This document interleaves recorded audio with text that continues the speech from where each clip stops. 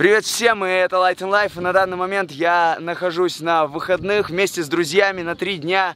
А, мы выехали на природу. Знаете, так утомили эти дожди, холода летом.